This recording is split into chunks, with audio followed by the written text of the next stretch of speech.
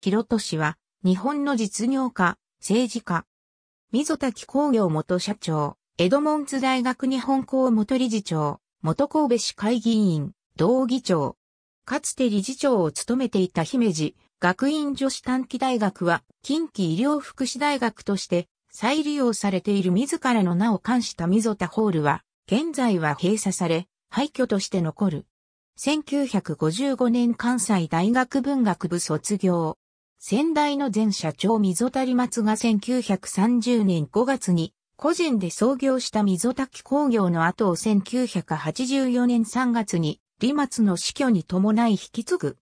同時に神戸市会議員も務め、市会議長などを歴任する。その後、1992年には国政選挙にくら替えするため、市会議員を辞職し、第16回参議院議員通常選挙、兵庫県選挙区に出馬したが落選。供託金も約6000秒差で没収された。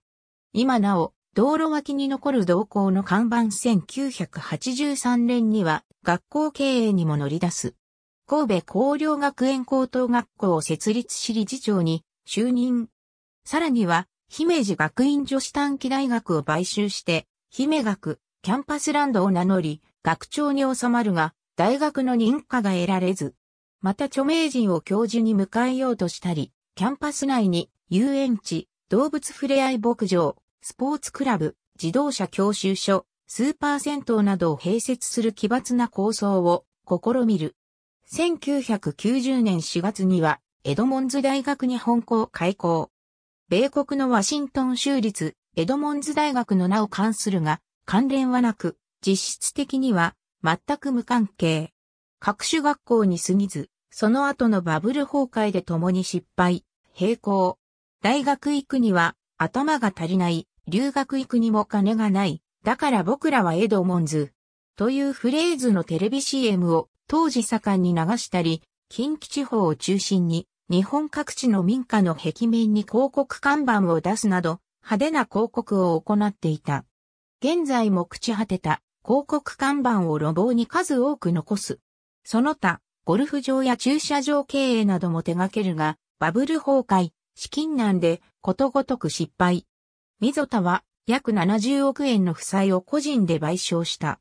溝滝工業は1993年に和議を申請。その後三代目社長となった溝田一郎の下で一度は再建を果たしたが、2008年のリーマンショック以降は売上不振に陥り、2011年2月1日に事業停止の後、4月18日に破産開始決定を受けた。長らく消息不明となっていたが、2012年10月12日、神戸市内の特別養護老人ホームにおいて、呼吸不全で死去。81歳没。